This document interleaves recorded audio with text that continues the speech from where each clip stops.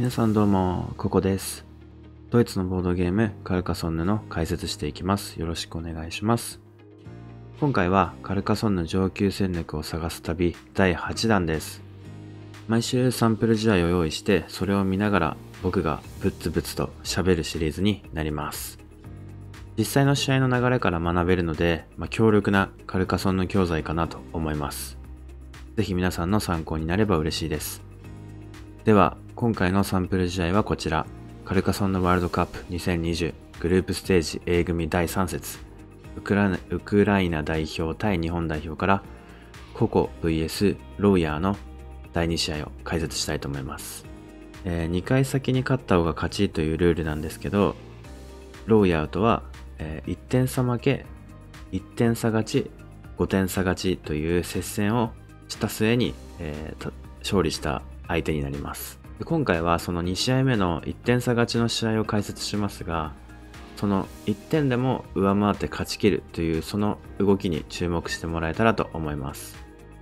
なお日本代表は2020年に行われたナショナルチーム対抗形式のこのオンライン世界大会で見事優勝しました。僕も、日本代表の一員として、合計16ゲーム戦ったんですけどまあ、その中から、まあ、解説しがいがある5試合を、えーここセレクションとして解説しています。今後も皆さんの参考になるようなソンヌ動画アップしていきます。えーカルカソンヌ知ってるよ、やったことあるよという方、ぜひチャンネル登録よろしくお願いします。また、そもそもルールわかんないんだけどという方は、えー基礎シリーズという再生リストもあります。概要欄に URL を貼っておくので、まあそちらから見るといい感じだと思います。それでは、ボードゲームアリーナさんのリプレイ機能を使って解説していきます。よろしくお願いします。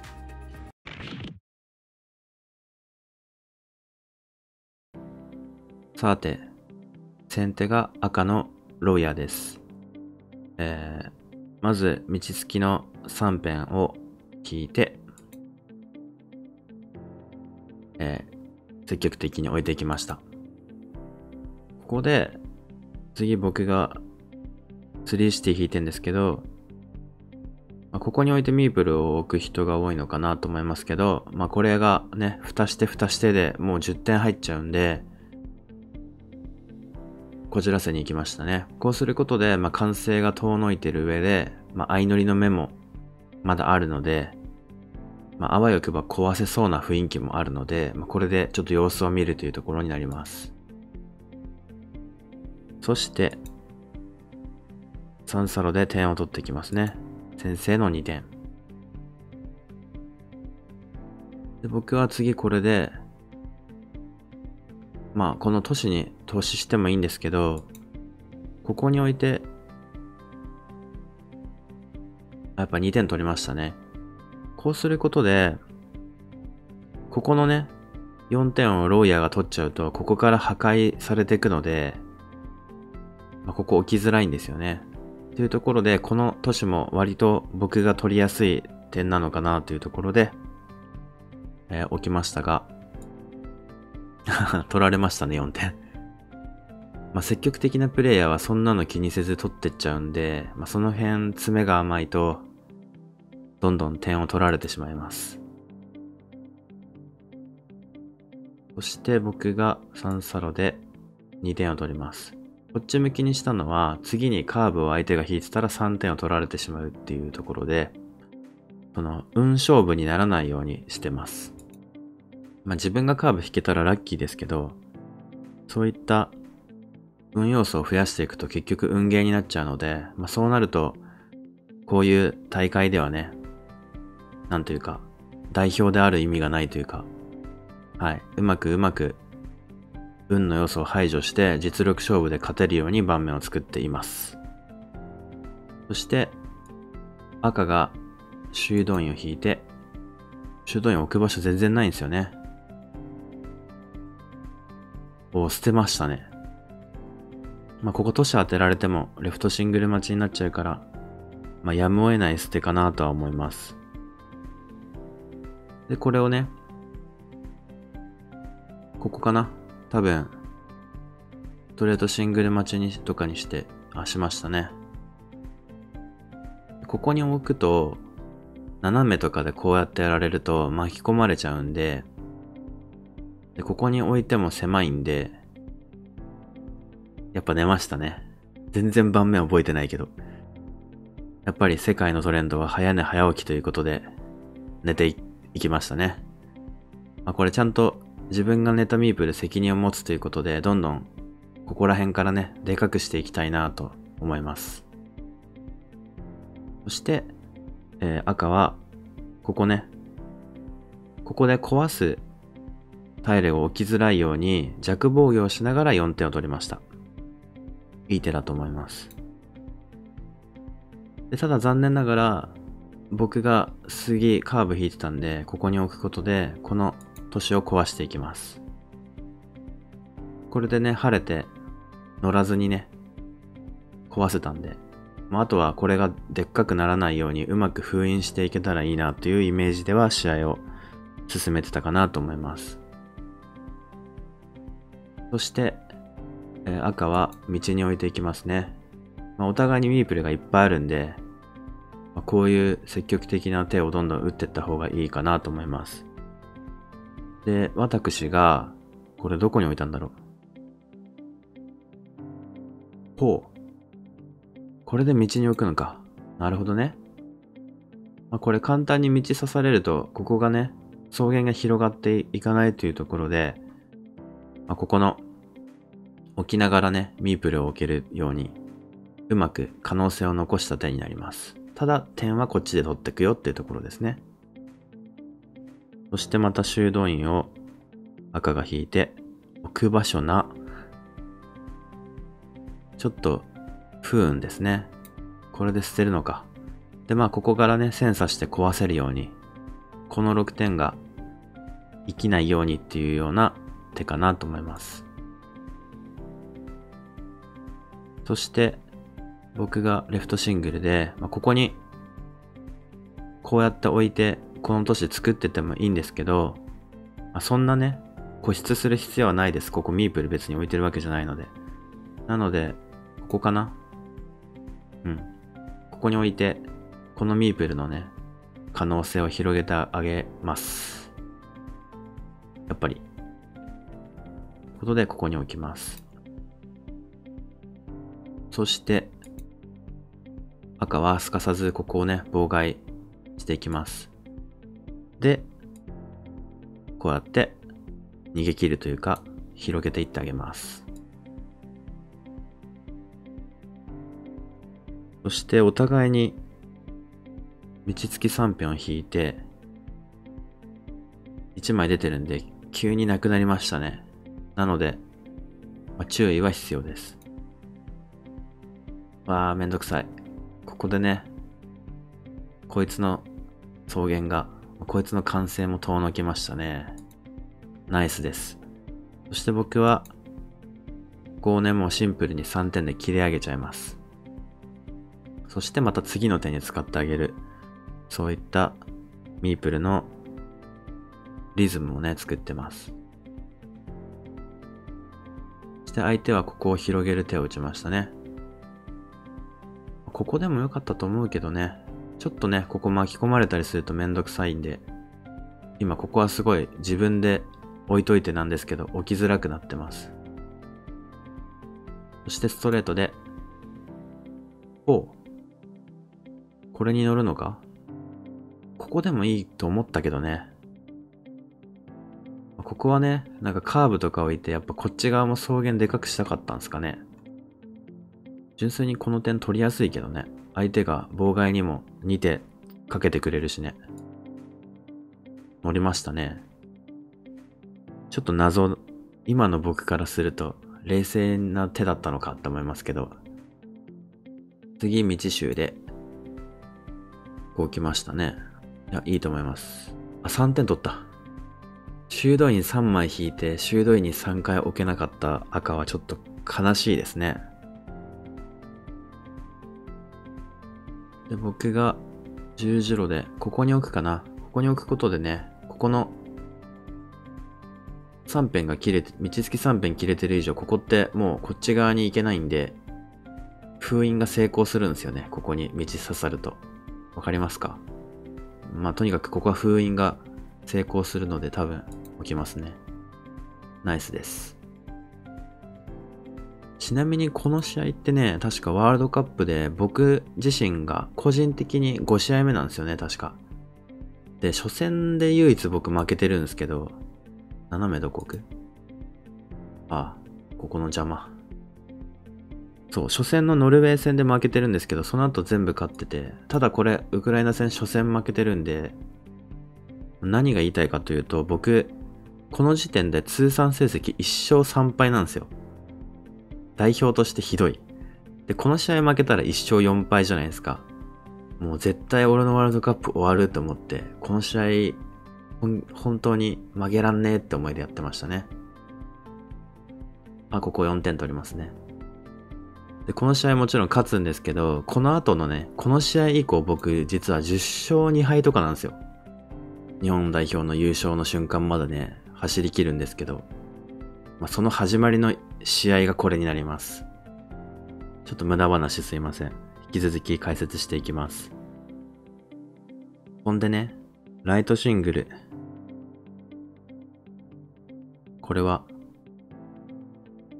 初めてのライトシングルか。相手が、どこに置くか。投資してきましたね。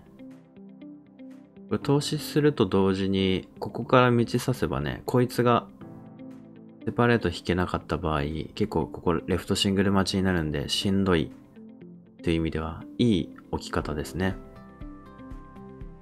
僕がどこに置くかというと、ここのもう手裏剣作りに入りましたね。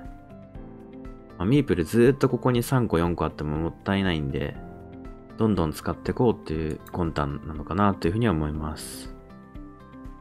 そしてここをね、3皿待ちにしましたけど、まあ3点と2点という意味ではあんまり強い手ではないので、やっぱりさっき僕が言った通り、ここにね、ストレートを置いて、ここをレフトシングル待ちにした方が良かったのかなというふうには思います。僕はこれやることがなかったのかな。とりあえずこいつの邪魔のために足場を作りました。ここもね、できれば僕カーブで4点取りながらこの草原をね、こいつもこの都市も巻き込みたいっていうイメージはあったので、まあ、ここも迂闊に手を出せないところであります。そして、自ら線の方に向けていきましたけど、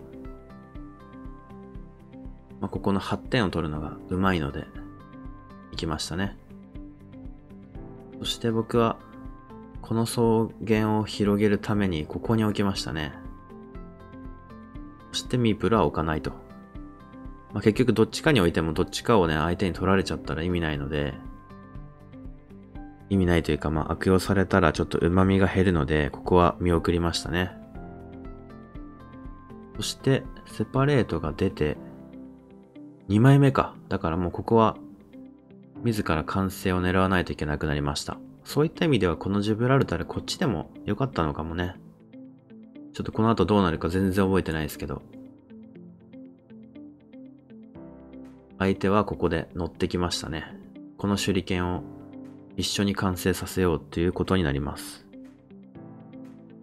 そしてレフトシングルが、レフトシングル2枚目かなまあ、ここさっき言った通り、線刺されたら嫌なんで埋めた方がいいですね。埋めない。4点を取ってる。大丈夫ですか僕？刺されたらやばいぞ。寝てきた。お互いに見えてないのか？ここ今置くべきでしたね。出てきます。そして僕はジブラルタルで埋めましたね。よかった。後から気づいたんですかね。どちらかというとね、こっちでやるべきでしたけど。そして、相手が斜めを引いてます。乗ってきましたね。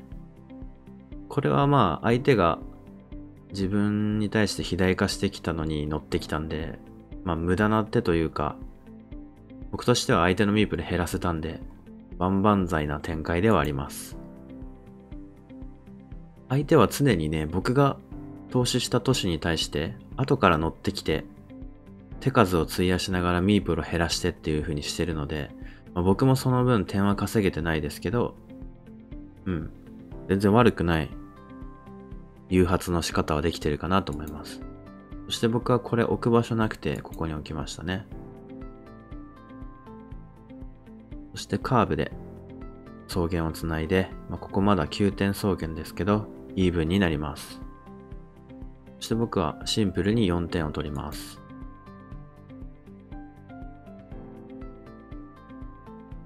そして相手は蓋を引いて、ミープルをゼロにしたけど、まあ、ミープルは帰ってくるだろうというところで、ゼロにしたんだと思います。そして僕が修道院で、ちょっとね、この試合、さっきローヤーも3個捨ててましたけど、あまりにも修道院が起きづらい盤面なので、僕もこの左下の都市を壊すために手を打ってますね。そして相手が土管です。5を伸ばすと。いやー、素晴らしいですね。そして僕は、ここの回収も良かったんですけど、ここの4点を取りました。そうすることでね、相手が回収できないうちであれば、ここの4点も僕が取れるので、まあいいかなってとこですね。そして相手は右折で僕が左折で、これ両方とも一気に枯れたんじゃないか？そうですね、これ一気に右折左折がなくなりましたね。なので、非常に、この後ね、あの、タイルもミープルも壊れやすくなってくるかなと思います。ここで僕は何をしたかというと、多分だけど、ミープル2個あるし、ここの回収もしたいけど、このこっち側の草原に寝て4点取りながらこっちの草原勝つみたいな寝方をしたくて、ここに置いて寝たんじゃないかな、確か。そうや。この手強いですよね。結局ここでさえ6点草原やし、ここね、4点取りながら入ったら、結局ここ15点と3点、18点取れるんで、22点行動できるんですよね、ここを引けば。で、相手としてはミープルを0個にしてまで寝るのはちょっと早いんで、まあ、草原も相乗りも全部後手後手には追い込めてるんですよね。で、まあ、残り25点、残り25枚のタイルで、まあ、点差ほとんど一緒で、こういうちらほらね、壊れてるやつとか、この都市とかがあるけど、この草原勝った方が今のところ有利だなっていうところありますよね。そして相手も相手で結構本当に強い選手なんで、こうやっておくことで、まあ、ここが2点で終わりながらこっちはでかくしていくっていうような、その得失点差を1点でも上回るように、盤面作りっていうのをしてますね。それはすごいなと思います。そして僕もここうかつに8点取られるときついので、邪魔をする足場を作ってますね。ただ相手はすぐに切り抜けると。そして相手の方がミープルが多くなるっていうところで、だいぶ強いですね。で僕もここ邪魔されることなくカーブ引けたんですけど、こっちの方が4点取り、22点コードなんで先かなっていうところではあります。こっちを選びましたね。カーブまだいっぱいあるってことかな。うん。まだいっぱいあるんだね。だからまあ、こっち先かってことか。ただここ壊されかねないけどね。まあ、ここすでにジレンマだったんで仕方なしですね。お、やっぱ次も引いてますね。カーブ多いですね。そして相手がこれを引いて、果敢にどんどん8点の年を取ってきますね。これでかいね。でまあ本当はこのカーブを道さしたいですけど、まあこの後引けなかったらやばいんで、こっちが先ですね。行きました。これは力強い一手だなと思います。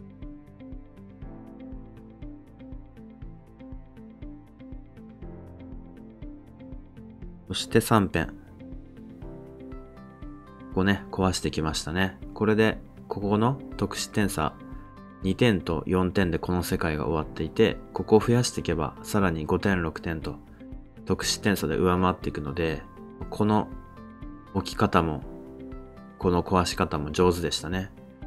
3辺って使いどころなくて捨ててしまうパターンとか結構多いんですけど、もう完全に有効活用してる手だと思います。本当に素晴らしいと思います。そして土管。下で8点取られないようにここに置きましたね。ただ、ミープルを1個にしてまでここにミープルを置くのはちょっと危険なところはあるので、ちゃんと試合中は数えたんだろうけど、道付きの2辺とかも結構出てる印象ありますよね。1、2、3、4、1、2、3、4枚、5枚。あ、全部出てる。うん。で、まあちょっと数えないですけど、斜めとかはまだ残ってんのかな？とはいえもう結構パッと見出てるのも目につくんで、って言ってる間に一発目で引くんかい。強えな。困る。その上で一番大事なのってここを壊すことと、あとは、この赤が、今乗る目が結構いっぱいあるんですけど、この草原に2-2にしてきたら、もう問答無用で僕が何点取っても負けちゃうんですよね。そういう意味では僕は多分これ草原31にすんじゃないかな。31にすることで絶対にここを固めて18点を取って、その上で、え1点負けてるけど、どうにかね、他でその1点をひっくり返そうっていう計画かな、多分。で、そうなった時に、寝る目として最高なのは、ここに置いて、ここを壊す布石を作りながら寝るってことかな。そうするとね、こっから入れるし、相手が万が一完成させちゃっても、3点増えながら僕入れてもらえるんで3-1にできるっていうのが結構いいんじゃないかな。なので僕はこのカーブを、あ、やっぱりね、寝ましたね。これがうまく作用するといいですけどね。相手はカーブで守ります。僕がこの使いどころのない3辺をどうするかってとこなんですけど、ここにここに置いて何もしないとかかな。相手が乗ここ乗っちゃうときついけど、自分も乗れるようにしたいしな。あ、違った。草原の芽を潰し始めてんのかな違うな。捨てたんかなもったいないけど、外れを引いたっていう感覚かな。で、次相手が、いや、この積極性を見習いたいよね。ミープルをゼロにしながら乗ってくんすよ。僕も全然いいけどさ、結構やるけど、なんか、うん、この勇気がないね。僕には。多分道で3点とか飛んじゃないかな。やっぱりね。で今これがいいのは、相手がミープル0にしたんで、ここの3点とかここの4点も僕が今取るチャンスがあるんですよね。これで一気に点を稼げたら強いですよね。相手がカーブでこの3点を防ぐと。で、僕が、ここで2点を取ります。これ強いね。で、相手が4点回収して、でも僕は、ここの5点も取るんだね。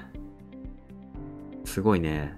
お互いの点の応酬が決まり始めてますけど。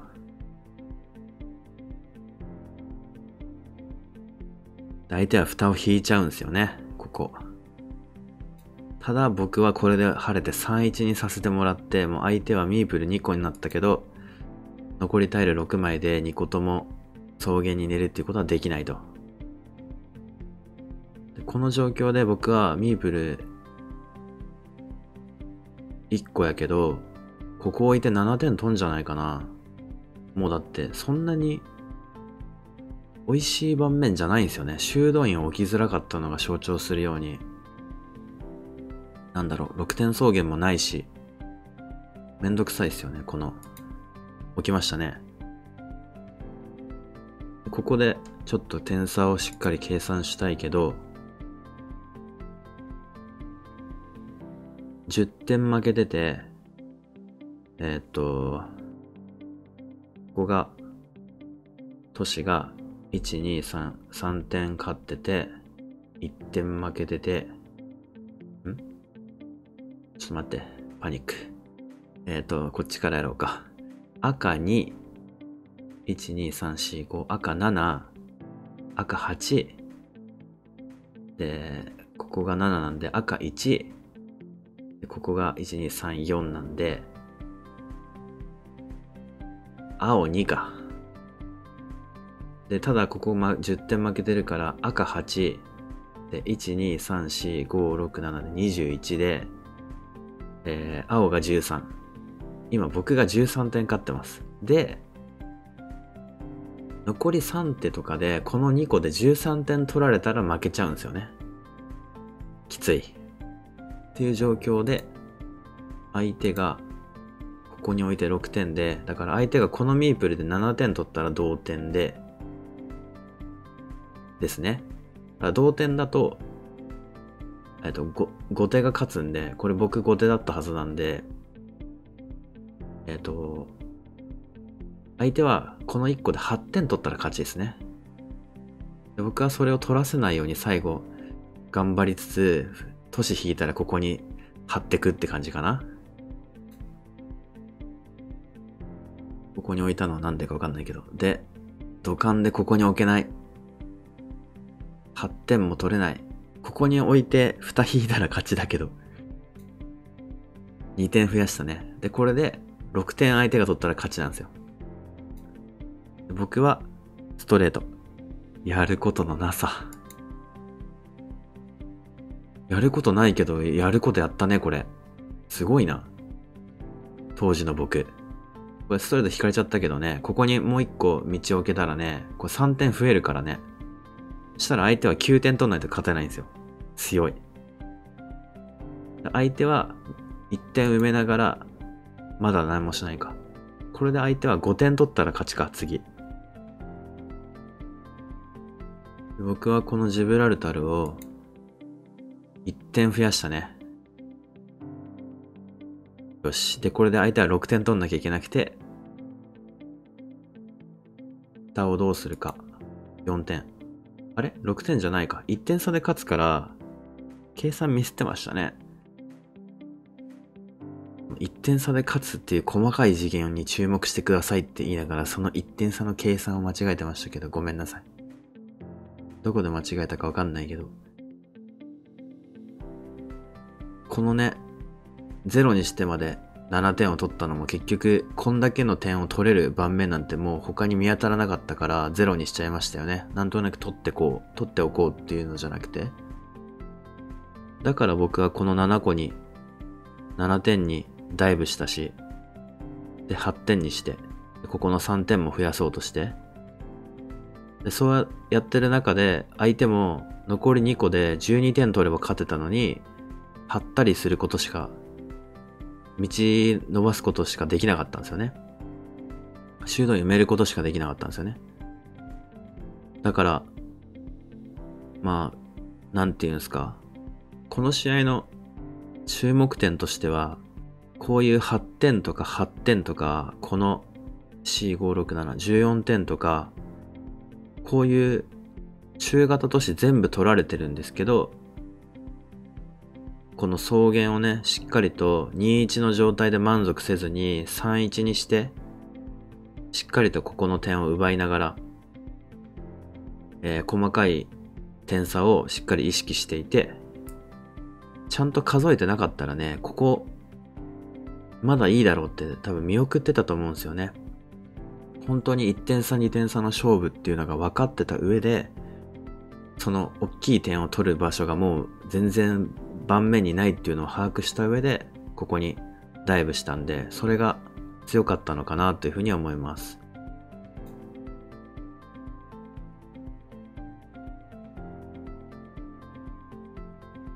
で、今から得点計算します。で結局、ここもね、どうしてもセパレートで乗んなきゃいけない都市だったかっていうと、そんなにでかい都市でもないから、だったらシンプルにここで4点とか取ってた方が、赤としては試合に勝った確率も上がってたんじゃないかなというふうには思いますね。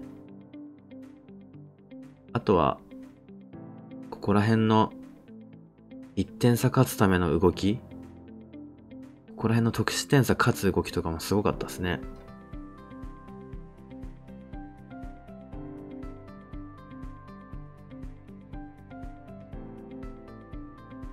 ということで、晴れて1点差で僕が勝った試合になります。